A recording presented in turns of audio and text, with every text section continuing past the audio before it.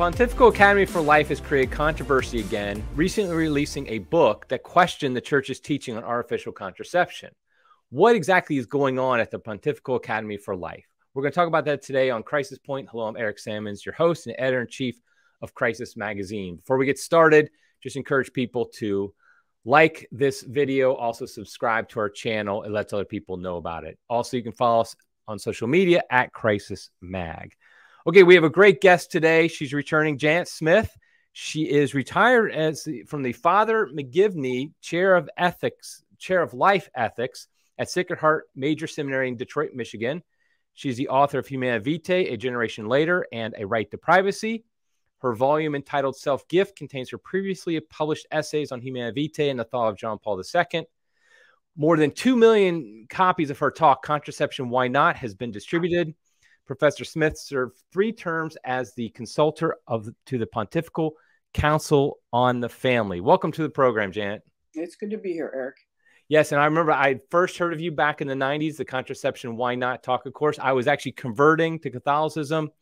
Contraception mm-hmm. was a big one because it made no sense as a as a Protestant not to use it. But then your talk was helped me realize that okay, this is actually a good thing that the Catholic Church does by by uh, by opposing it. But now, unfortunately, we're going to talk about some confusion when it comes to that. So before we get started, really talking about this book that came out, let's go take a step back. What exactly is the origin of the Pontifical Academy for Life? Like, why was it set up, and when was it set up? Uh, well, what do you think? I'm an extra lucky. I did take a little time to review these things this morning. Um, I believe it was set up in what 1974. It was right? 94, 94. 94 by, um, that's right, by Lejeune um, from uh, France, who was the doctor that uh, discovered the source of Down syndrome and was uh, just a beautiful man, probably saintly from what people say, and um, very much defended the right to life of uh, Down syndrome babies and, and all babies. And so the whole academy was set up in order to uh, defend life. Uh, and there were some real people were appointed for life and really beautiful people who uh, accepted the church's teaching. And it's you know it's not just the church's teaching it's natural law on um, the value of, of human life. Uh, and then in 1917 um, Fran- pope francis uh, basically fired everybody. Uh, i don't know what you say removed everybody from the that was on the list of those in the academy and put a lot of new people on redefined the mission. And instead of being an academy that basically defended the church's teaching in the light of modern assaults on the truth about human life and sexuality, um, put a wide a people widely diverse views on it in order to um, encourage dialogue and discussion uh, about these issues which seems now to be uh, being employed in order to actually uh, question and even overturn uh, the, the t- church's teaching on life issues. So it's the history is a very sad one, I would say. Yeah, so it was founded uh, in 94, Pope John Paul II. But what is the status of? Okay, so you were on the uh, consultant on the Pontifical Council on the Family. This is the Pontifical Academy for Life a lot of these different groups that are associated with the Vatican. There's a lot of confusion among Catholics as to kind of what their purpose is and where do they stand. Like, are they part of the magisterium? Are they are they the Pope's mouthpiece? Like, when you say like a Pontifical Academy for Life, what would you say is like its its uh, its place in the Church as far as like the magisterium or the Vatican and things like that? Yeah, it, we'd say it's a consultative uh, group, one that's meant to advise the Holy Father that um, when a new issue comes up, something's been challenged, that you put all these experts to work who are able to examine the new challenge and you know provide the formulations that people will understand that suit the modern world that will um, be a, res- response faithful to the magisterium uh, with for an issue. So that that's it, it has no um, it has no magisterial authority. In no way does it teach for the church uh, but people will get confused by that. They are confused. They think if something comes out by the Pontifical Academy, um, some 517 page volume, however many it is, um, that this in fact speaks for the church. Uh, you know, it, and there's some some way in which it does, and not in an authoritative way, but evidently, you know, the Holy they say the Holy Father uh, approved of the volume. You wonder if he possibly read all of it, uh, but surely he knew uh, the the main conclusions that were being advanced uh, by the document. And so those who are inclined to challenge the church teaching on any of these issues now have a powerful weapon. Uh, even if it has no magisterial authority, they're going to point to, well, this is where the church is moving. And, you know, who are you uh, to be a retrograde and not realize this, this legitimate development of church teaching? Right. So while we can say very definitively that something that comes out of the Pontifical Academy for Life is not an infallible teaching, it's not uh, even a magisterial teaching, that doesn't necessarily mean it's not dangerous and doesn't cause a lot of confusion and problems. And I think that's exactly what we're talking about here. So the volume we're talking about, it's called Theological Ethics of Life, Scripture, Tradition, Practical Challenges. And so, as you said, it's over 500 pages. I think it was published in Italian, correct? Or, or was it multiple? Some of the essays are in English, but almost yes. all of it is in Italian. Okay. Okay. And so, basically, what what is this volume? Like, what, what was it written by one person? Was it what, what, what exactly is this volume? Well, it, it's a compilation of um, contributions to a conference that was held uh, last year, I think November in 2021. Uh, and uh, it's they were provided the attendees were provided i don't even know if there was a physical meeting but um, the participants were uh, provided with what's called a basic text uh, which was really a, a fairly radical uh, challenge uh, to magisterial teaching on life issues. And then they were asked uh, to respond. Almost all of the responses are favorable to that basic text. There's a few voices that are are um, challenge the new reading, but it's almost altogether uh, a, a, challenging of, of church teaching. They don't say they don't say they are challenging it. Of course, they are bringing it up to date uh, to the modern world. They're offering a, a new paradigm. And what is um, particularly sad, I think, is that um, many members of the commission say they didn't even know uh, that this conference was happening or this publication was going to put forward. So it's in no way a representative of the views of uh, all the members uh, of the commission. One doesn't expect ever to get a, a consensus on something like that, but to include more um, voices that would not uh, accept what the document is saying is, I think, is very important. And you know, it was just a heavy-handed uh, effort to uh, shut out voices that might object to the, the, the principles articulated in the document. It sounds like how they run the sentence these days. yeah, exactly. You basically invite the people you know. We all agree because we all agree. Right, exactly. That's right. Because right. I think there's there's over a hundred members of this Pontifical Academy uh, on some level, and there's lay people, uh, clerics, uh, researchers, all this stuff, and so basically just because this document this vol- this huge volume was released it doesn't mean all the people who are members of pontifical academy for life are actually supported this and it sounds like it was like it was uh, prepared ahead of time to be something that would go in one direction now the question is is the whole volume uh, talking about the teaching on artificial contraception, or is it more just is it have more generic uh, talking about morality and, and the morality of acts and things like that? Well, it's an interesting question. I, it, it, the two documents it, it most frequently references are Humanae Vitae, which is, of course, on contraception, and Donum Vitae, which is on artificial means of reproduction. Uh, but my reading of the document is that um, it, it's a it's a bizarre uh, document in many ways. It claims to accept the teachings of those documents. All right, it accepts the teachings of them, but really, what it does is it advances a, a new understanding, new understanding of conscience um, that calls into question all moral teaching, not just those two. Those two are obviously ones that they most want to overturn. Um, but honestly, their understanding of conscience would basically totally uh, gut um, the church's teaching on morality and it does kind of make you wonder why it saying that is, is like why would you bring up the contraception issue now when the fact of the matter is is that most people who claim to be Catholic, who say they're Catholic, already just use artificial contraception.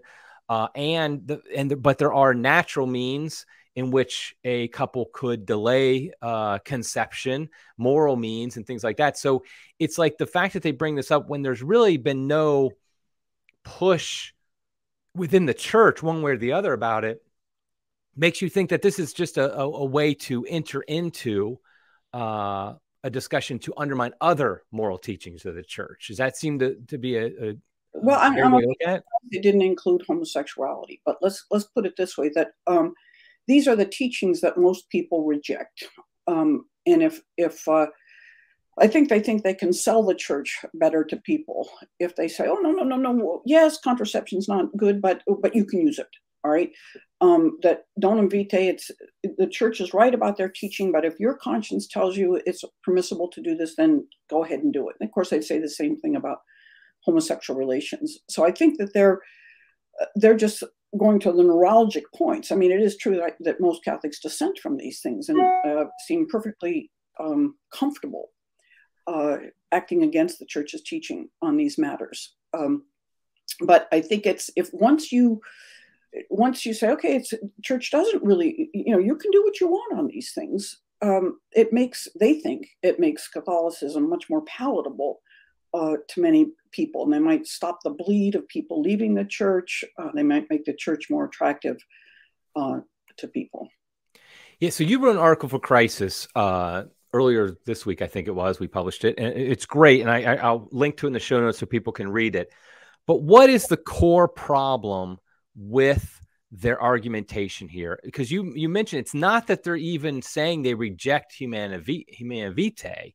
It's something a little I would honestly argue it's a little, something a little more diabolical, but it's mm-hmm. something a little bit different than just simply saying, "Oh yeah, Humanae Vitae was wrong." What exactly is their argument? What's wrong with how they go well, about it? And, and they know this. I mean, they, they are um, advancing a radical understanding change of conscience. Um, in, in, Vatican II and Gaudium et Spes, it said that the, conscience is the the, um, the the the place where uh, we hear the voice of God within and we recognize that there's a law that we need to um, obey that we did not invent. We, uh, that God has, has provided laws that we must uh, obey. And of course, these aren't, they may be burdensome because we have a sinful nature, but at the same time, they are fulfilling of human nature and they're truly liberating, not um, confining, because they liberate us from our sinful tendencies and um, direct us towards what is best for us. Whereas um, this group uh, thinks of conscience really as um, not something that God, in the interior voice of God within. It's, it's a repository of my own values. I've made choices in my life, and those choices have committed me to certain values. So, over the course of my life, I have committed myself to certain values um, in the way that I behave. And that now should be and must be my moral guide, not anything external, not the church's teaching, not even the natural law. All right. It's it must be the values that I've chosen. And there's it, it doesn't use the word authenticity so far as I'm concerned, but it, it it has a bit of that sense of some of the modern understanding of authenticity. I need to be true to myself and my own values. And even though you could say, and it does say that say contraception is, and it doesn't use these words, which is interesting. It doesn't talk about the difference between objective values or objective culpability and subjective culpability, all right, which the church has always made that contraception is always wrong. And the church does say that if your conscience tells you that you must contracept, well, then you should contracept, but you have still done wrong all right? And you're you have badly formed your conscience and it, it could you could be culpable for that. It depends on what your education opportunities etc of concern. But you you definitely have done something wrong if you've chosen to contracept even if you're subjectively not culpable. Let's say you're a 14 year old girl and you're your parents and your guidance counselor and even your pastor tells you you should use contraception right? And you turn to the right authorities in your life to understand what you should do. And they they tell you there's really nothing wrong with fornicating either that you're love young and in love and you need to explore your sexuality blah blah blah. That kid is har- hardly culpable subjectively for what they've done, but what they've done is wrong, both the fornication, obviously, and the, the contraception. Um, what this document would say, I mean, I don't know how you can talk about a 14 year old uh, having a repository of values, but let's take now the 24 year old um, who thinks it's perfectly all right to have sex outside of marriage and perfectly all right uh, to contracept. And you say they don't even say that you've done something objectively wrong. They say that you your action, if you are acting in accord with your own values, that you have done that is the right moral choice for you to make. All right. They they judge the moral action not in a kind of division of subjectivity and objectivity, but the the whole action in their mind is a good action because you acted in accord with your own values. And we need to accompany people on this. Now, it says very little so far. I haven't read the whole 500 and some pages, just some key portions, but um, and there may be elsewhere it makes these distinctions, but in the portions I've read where they should be making these distinctions, they're not making them. Um, it it's um, it doesn't say that even though the church is right on this, that we need to lead people, even those we need to accompany them on their journey, as it says other more recent documents or, or at least articles have said.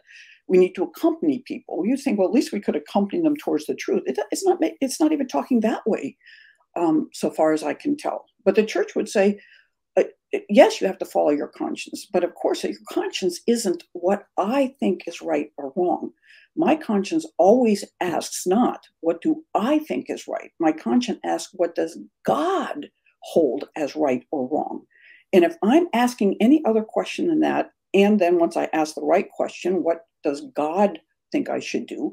Where do I go to find that out? All right. I look at, if I'm a Catholic, I certainly look at church documents. And I, I ask that question um, what does the church teach? Because the church teaches for God. And if the church teaches that contraception is wrong, it doesn't matter that I think it's okay. All right. Now, if I'm a Catholic, there's no way I can sit and say, well, I think it's okay. You've got to say, no, I'm in, I'm in conflict. I'm in terrible conflict. There's something, some part of my being that thinks it's okay, but I'm committed to the Catholic faith. And I know that the church teaches for God. So why would I follow my own views, which aren't God's views? They're my views, instead of following the church? They don't present any of that in this document. Yeah, it seems. It, but I also, first of all, I, this sounds like the exact same argumentation used in Amoris Laetitia that there's this idea of just that you can determine.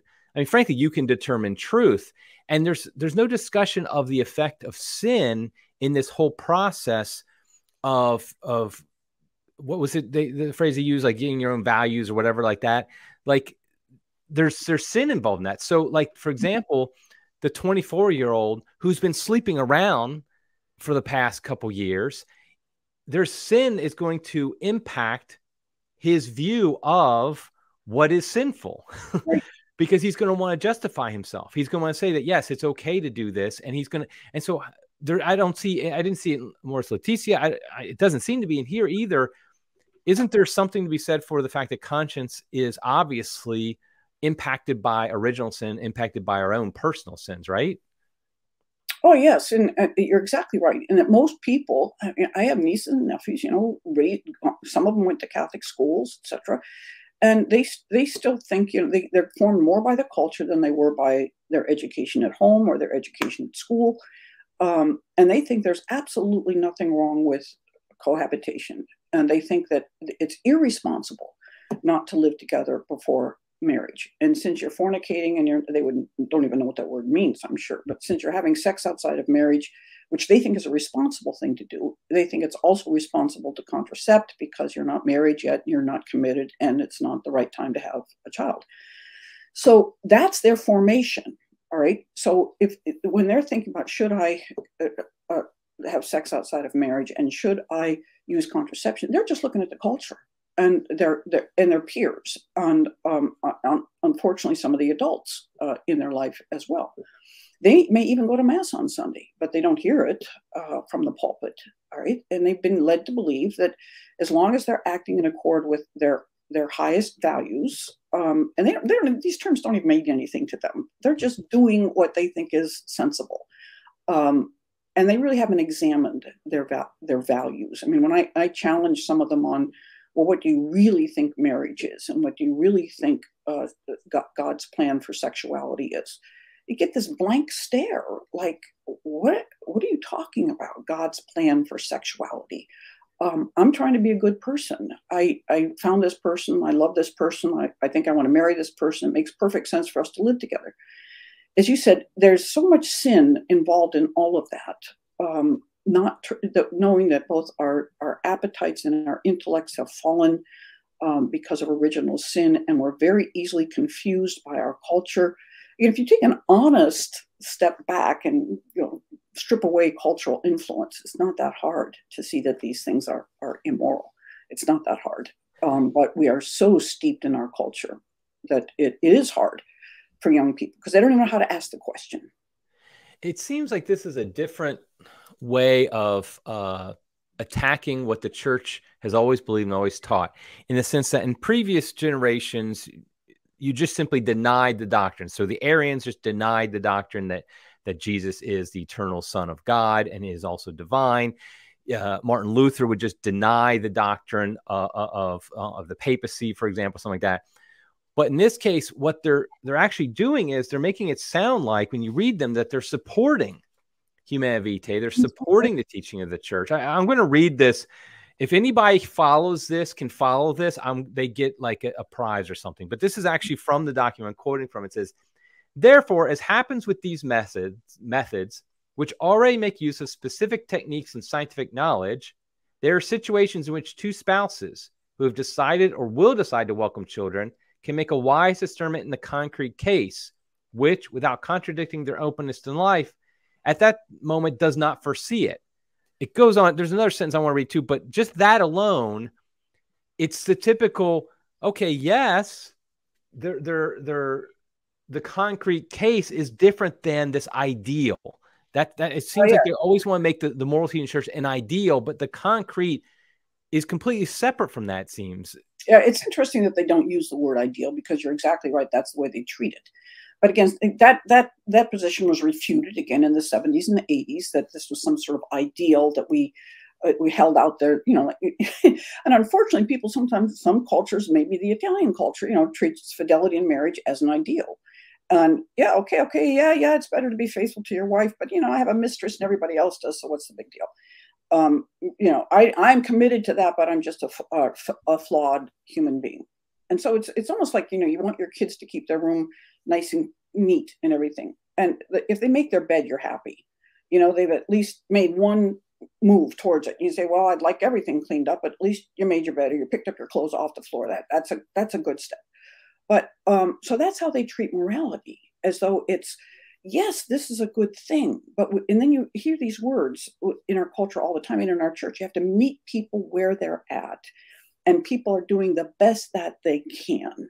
And so we have to approve what they're doing because we have to meet them where they're at and they're doing the best that they can, as opposed to saying maybe where you're at is a really bad place to be. And it, um, and your best is not very good when, when you get right down to it. And we need to really challenge you. I mean, t- take something like homosexuality. It's it's amazing um, it, that when you find a person who has homosexual tendencies who is ready to really ask the question whether these is a good it's a, these are good actions and this is a good choice of way to use their sexuality they will start using words like it's degrading mm. all right and it's um, I'm I'm ashamed that I've made these choices. When you get down to the deepest part of their being, they start, and, and that's where you have to. I mean, you don't come right out and say that when you're having a conversation. You ask people, "Are you happy? What are you looking for in life? What kind of relationships do you want to have?" I kind of like to ask people, "What do you think your grandmother would think of this, and why do you think she would disapprove of what you're doing?" And then when they start going in that direction, because they know their grandmother loves them, and so um, we don't have we're going to lose out that on that argument before long because the grandmothers have gone the way of the rest of the culture. Right. But for a long time, that was a very good uh, approach to people was to say, um, what did you, what would, we, are you, would you like your grandmother to know what you're doing? And they go, no, why not? Is she wrong? Mm. Yeah, it's interesting. It's interesting because move them to where they they need to be. Right. It's interesting because back when I was in college and I was still Protestant, I knew a Catholic who uh, lived a lifestyle that was not in keeping with Catholic teaching. We'll just put it that way. You know, he partied, all the things that college kids sometimes do. And then he'd go to mass. This is when I was thinking about becoming Catholic, though. But he would go to mass on Sundays, but he would not receive communion. And I, uh, you know, I my friend, Catholic friend, me, like, "Why don't you receive communion?" He's like, "Well, I can't receive communion based, you know, I, I considering the stuff I did yesterday." And I, I remember thinking as a Protestant, there's actually something beautiful about that, in that this guy at least recognized that he's not living up to what he's supposed to be doing and in that, there is a, a place for evangelization, a place. And so he didn't receive communion. Whereas this ideology that we're seeing with from Pontifical Academy for Life, from Amoris Laetitia, stuff like that, is kind of saying, well, to saying that guy, nah, just go ahead and receive communion because you know your values or whatever have made it okay for you to do You're this. Doing the best you can. Right. Yeah. And and, and that just seems, yeah. And so the the next in this document, is volume also says the wise choice will be realized by appropriately evaluating all possible techniques with reference to their specific situation and obviously excluding abortifacient ones. First, I want to say I read that to my wife, and she said, There's nothing obvious anymore coming from you people. That's a good point. It's yeah. true. But but if it's obviously excluding abortifacient ones, what they're also saying is it's not excluding contraceptive, strictly contraceptive techniques. But again, it talks about this idea of reference to the, their specific situation, as if there are situations in which the ideal or, or whatever, or the, the teaching of church doesn't apply. But doesn't this get into the a problem that I, I remember talking about um, on a previous podcast about Amoris Laetitia? Is this idea of the difference between the positive and the negative moral laws? That there are laws, moral laws, uh, that that you can break in specific situations. And I, actually, the the the uh, article by Mueller, I think it was, who made the example of you're driving along the road and you swerve. You, you swerve maybe into another lane, which is against the law and it, against morality, really, to do something like that. Except you find out there's a there's a car coming at you, so you're doing it to protect life. So it's okay to do what you just did. That but they're using that kind of logic. So can you explain the kind of difference between positive moral law and negative moral law and why the, the logic they're using here does not apply to contraception? Yeah, well, certainly the positive moral law, it, it, it directs you to what you should do, but it has to be very particular when it says, I must be generous, right? Well, what's generous for a poor person, what's generous for a, a wealthy person are very, very different. Um, and so that you can't, you know, it, it's a bit amorphous, uh, a positive law. You know, drive it, safely. Well, for most time, it's it's you know, uh, observe the speeding limit. But if you're getting someone to the hospital that is going to die if you don't get there at a certain time safely is the best you can do, um, going as fast as you can to get them to, to the hospital. And you haven't broken any laws. You are, I mean, you've broken human law, but not any divine law to protect human life is and so speeding at this point is the thing I can do that's most protective of, of human life. Obviously, without it trying in, without unduly endangering uh, other cars on the road. A negative precept is one you should never do. It's sort of like um, you know, don't touch electric fences. All right, you will die. Don't jump off of ten-story buildings. All right, um, and, and you say because you will die. Uh, and you say that so there are certain rule, rules laws natural laws um, fit laws of physics that if you break um, the, the results are disastrous. Well so you know laws like don't commit adultery means never. Never have sex with anyone other than your spouse if you're a married person obviously. Now you might say don't be unfaithful to your wife or always be faithful to your wife. That's a positive rule but th- does it mean you can never bring flowers to your secretary, let's say on her birthday? Um, probably not. That's probably a nice thing to do. But if you're bringing her flowers a couple days a week um, because you like her smile and you like to make her happy, well, now you're moving towards adultery, honestly. but you can't make a law that says don't ever give flowers to your secretary. you have instead the law don't commit adultery. So the church has the law.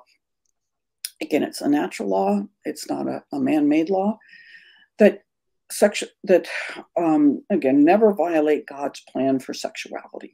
When, and that contraception does violate God's plan for sexuality. Therefore, don't contracept. And it's interesting, as you said, that they say except for the abortifacient ones. Well, there aren't very many that aren't abortifacient. You're basically talking the, the male and female condom. Um, almost everything else. Uh, maybe if you call withdrawal a contraceptive act, that's not an abortifacient, but it's immoral. It's it is contraceptive and also non-unitive. So it's it's interesting that they have that little disclaimer, but they don't sort of have an asterisk that says this means just about everything. you know? And um, and, and you're so it's it, they're they're very narrowly circumscribing it and acting as a you say as though it were a positive law rather than a, a positive precept as opposed to a negative uh, precept. And what's what's interesting in all of this is you know you it, way back in you know the late 1950s early 1960s when there was the, the challenges to the church's teaching on, on contraception those who were trying to push contraception always talked about women in third world countries who had you know 8 9 10 11 12 children and, and couldn't feed them and it was just horrible and she needed to have some recourse to contraception they don't even say anything like that anymore because obviously almost everybody's contracepting and they're they don't have too many children um, it's not that they can't, they've only, they may be most likely limiting themselves to two.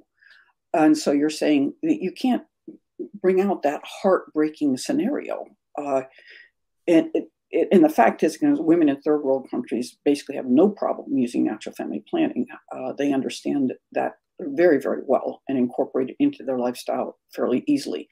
We don't in the modern world because we think that sex is for recreation. Um, we think that there's nothing else to hold a relationship together except sex. Uh, and so if you're not having as much sex as you can, which people aren't, but that's what they think is their goal, um, they couldn't possibly use natural family planning. Many studies show that people using natural family planning have sex even more often, uh, in spite of the um, requirement for abstinence for a certain period of time, than those who are contracepting, because contracepting kind of takes the fun out of one of the huge fun items out of um, having sex, which is the possibility of a baby with this person. And when you when you have your act open to that possibility, you are saying something with your body to that person, which is just extraordinary, which is, I'm willing to have a baby with you, which means I'm willing to have a lifetime relationship with you. That's exciting. That's fun. A momentary act of sexual intercourse is physically exhilarating but it doesn't have the human element, um, the human element of a commitment uh, to someone you love. Right.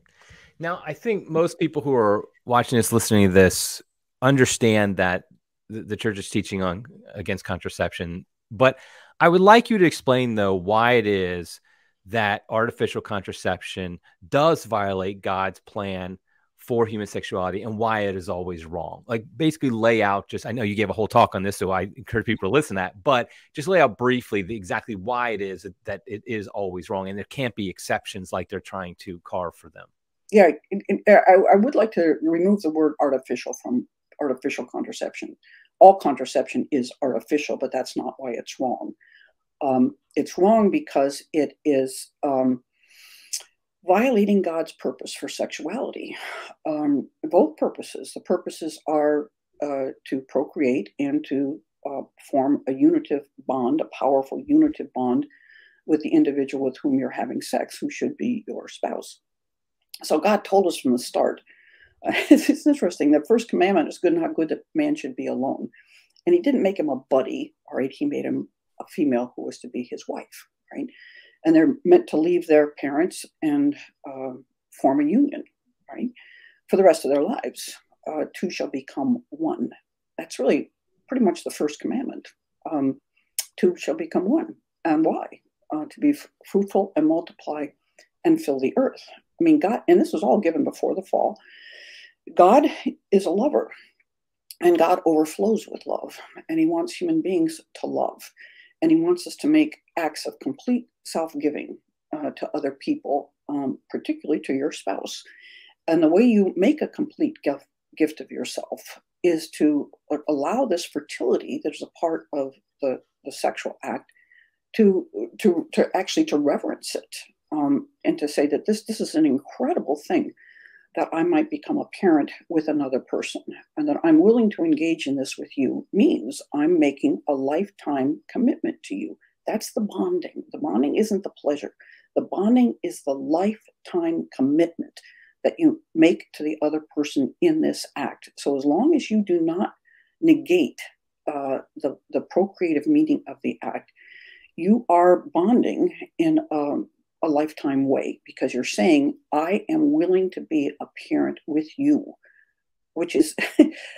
that's the most that's the most profound deeply profound commitment you can make to anyone uh, as anyone knows once you're a parent you are a parent for the rest of your life with that other person of this child and um, so that's the church's teaching that this that sexuality is a great gift from God. He does want us to experience great pleasure. He does want us to have a powerful attraction, physical attraction, emotional attraction, psychological attraction, even philosophical attraction um, to this to this other person, um, because it a lot it it it um, it's a push on our back uh, to to get into this relationship um, and bring forth ch- children and it is hard, as you say, in a fallen world.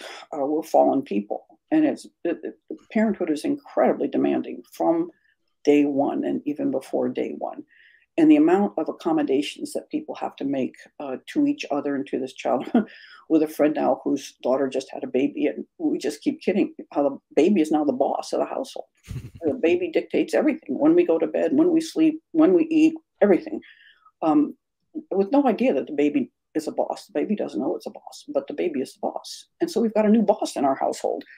Um, our will is not the will that prevails um, in this household. And so the, the, the, father and the mother have to relate in a whole new way uh, because of this child and for the rest of their life. And so God made all of this a way of populating heaven. That's what he wants. He wants souls for heaven, but also for the sanctification uh, of the spouses. The generosity that is necessary to be even a mediocre parent is tremendous. Um, and so th- that's the purpose of sexuality. I would say babies, bonding, sanctification. Yeah, and I, I would just say that on that last point, that as a, a parent, I have seven kids and mm-hmm. and uh, been parent for over 25 years now. That I, I have a long ways to go in sanctification, but I have a lot further way to go if I didn't have kids. I mean, they mm-hmm. just really do help you. I mean, just like you said about like you, you, you have to put them before your your own needs. And it's like it's funny when we had our first kids, so this is like 25 years ago, just the the simple of like you can't just run out the two of you somewhere and get you know like oh let's just run out. No, you can't do that because now you have a kid. And and like at first there is this resistance. You're like you, you know you don't like that because you like doing whatever you want to do. But then over time of course that gets moved and, and, you know kind of you realize okay there's far more important things because all of a sudden this baby is like the most important thing to you. And it, it, so it doesn't you know you're like I, I can i can like give up not going getting whatever i want every second for this person. And that's what i think is most frustrating about the the attempt to demean the teaching of the church on this is that it it it assumes what the world says about these rules that they're mm-hmm. just things to keep us from having fun they're just things to keep us from being happy. And yet as you explained very well following teaching is what's going to make you the most happy the mo- not necessarily every moment but it's going to make you the most fulfilled the most joyful the most happy and obviously eternally happy. And that's what they seem to just act like that's not even true that following these things are just a big burden for people and so that's why we have to soften it. So we, are lifting burdens from people's shoulders. And it's not really a burden ultimately because asking anybody who has kids yeah. it's not a burden to have. I mean i have seven kids.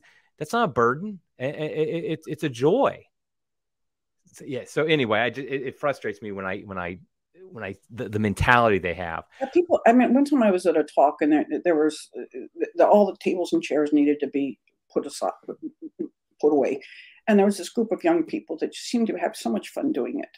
And um, afterwards, they came and, and stood around me. And, and I had said in my talk something about, you know, having a lot of kids. I mean, it, can be a great burden in certain respects. I mean, carrying in all those gallons of milk all the time and um, picking up all the shoes, and again, lecturing one more teenager about whatever. Um, God bless you, one more teenager about whatever. And uh, this woman in front of me, who turned out to be the mother of all these kids who had done all this cleaning up, just said, I never found it a, to be a burden. Now, I, I knew she was lying, okay, because can't be. But on the other hand, what she meant to say is what you're saying is that in in the reward is so great, it erases the burden. All right. It, I mean, I'm looking at it and I'm thinking, oh my gosh. And and but then I see these teenagers and I say, oh my goodness, what you've done. What you have done is raise these beautiful kids who just have a good time uh, cleaning up after a big event rather than resisting it. right And so it, that's the sanctification. And that's what we think we've lost something when we've really gained something of immeasurable uh, value, immeasurable value. And one more question about this, just the morality of, of contraception, whatnot, is is natural family planning.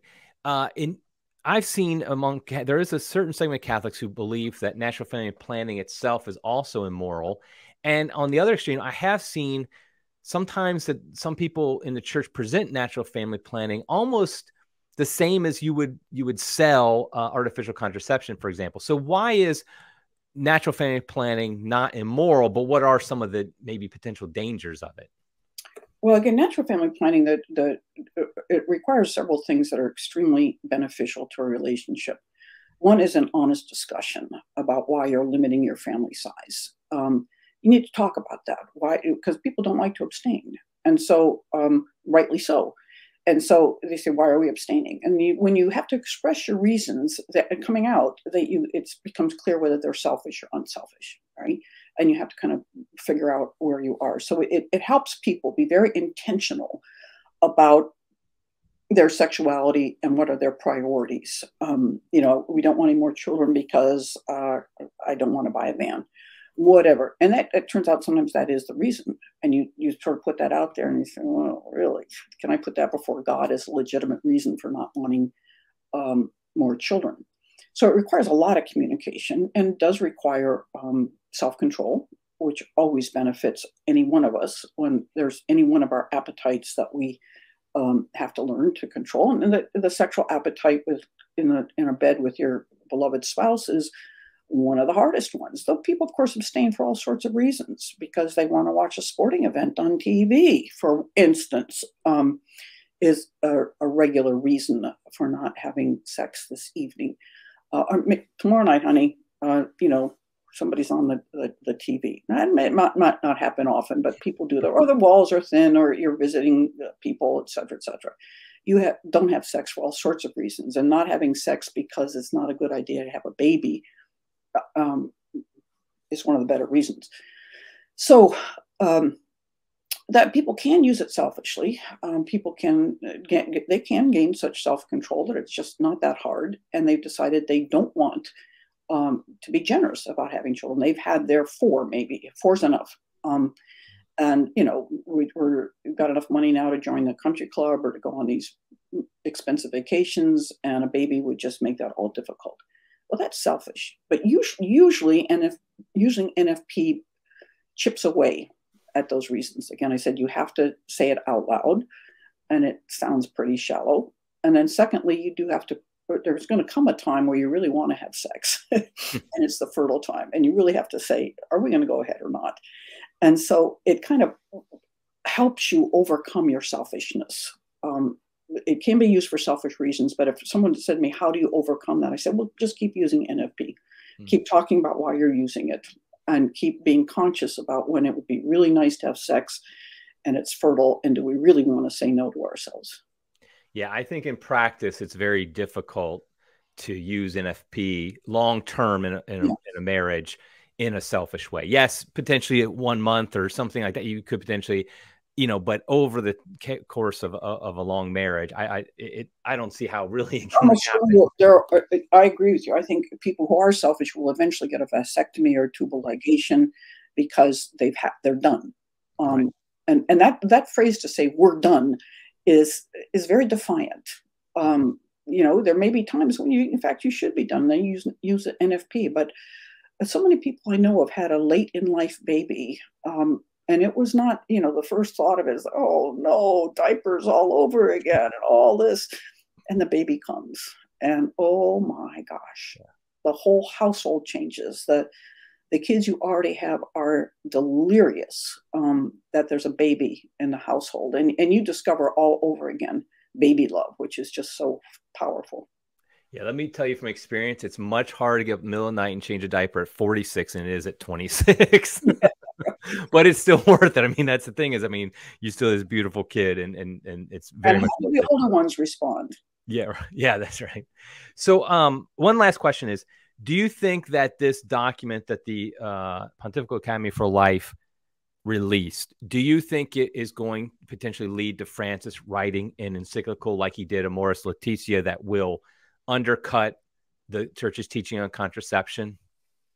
I don't know. Uh, possibly. Uh, again, I think just like Amoris Laetitia, um, it's ambiguous enough that you can um, say that it hasn't really changed the church's teaching. It's just opened a door for those who are, I mean, I think that's what it intended to do.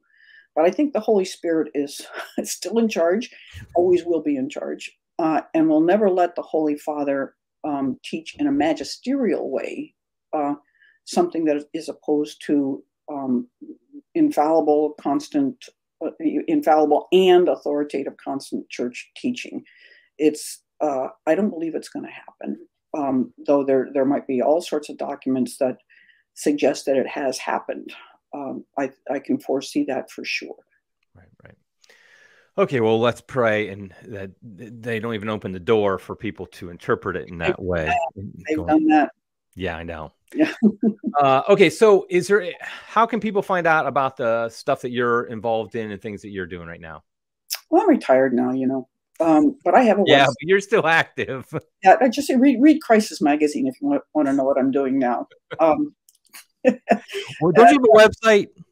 What'd you say? Don't you have a website? I do. It's it's uh, not as um, comprehensive as it should be, and one of these days I'll maybe I, have tried many times over my life to get something up and going, but it just sort of sputters. Uh, it's janetsmith.org. Uh, my my talk contraception, why not, is there for a free download, and I really wish people would promote that because I recently gave a talk to maybe 50 very good Catholic folk, kids from Focus, and I think two of them have ever listened to my tape. Not that they were pro contraception, but they hadn't listened to my talk. I guess I should call it now. It's a MP3, maybe MP4, MP5 download. What's what are yeah, we I don't even know. I still call them tapes. I talk about like Scott Hahn's conversion yeah. tape. I mean, because yeah, so anyway, I, I, I still think it's it's it's very valuable for people uh, to listen to it. I mean, the, the studies to some extent are out, out of date, but you can take two seconds to Google the, the right words and you'll find the latest studies, which honestly completely confirm the older studies. Uh, it's not as if things have, have changed. Uh, they've only gotten worse, not better, except uh, there's fewer abortions, we think, maybe not, uh, but there's fewer surgical abortions than there used to be. There may be more abortions because of the abortion pill, uh, etc. Okay. Well, I'll link to your site and I'll link also to where they can download the um, contraception. Why not? So, because I do, I do encourage and, and, recommend anybody to listen to it. Uh, it really does uh, present the arguments very well. So, okay. Well, great. Thank you very much, Jan. I appreciate you uh, being on the program. It's good to be here, Eric. I love what you're doing. Oh, thank you very much. Appreciate it. Okay, everybody. Until next time. God love you.